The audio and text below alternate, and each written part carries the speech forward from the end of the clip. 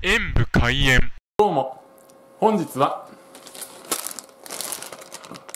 こちら鈴木放課堂のあ放棄堂かのチーズミックスナッツを食べたいと思います。チーズ。おつまみにはよくありそうな組み合わせですね。うん。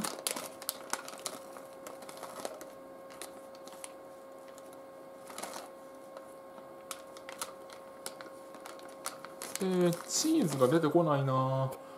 まいいか。いただきます。うーん。やっぱりいない？あの子。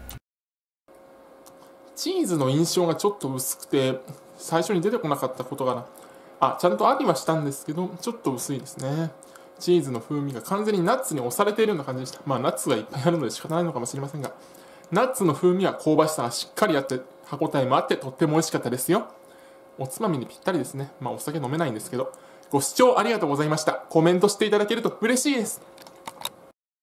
パソコンおよびスマートフォンのアプリの方はクリックをお願いします。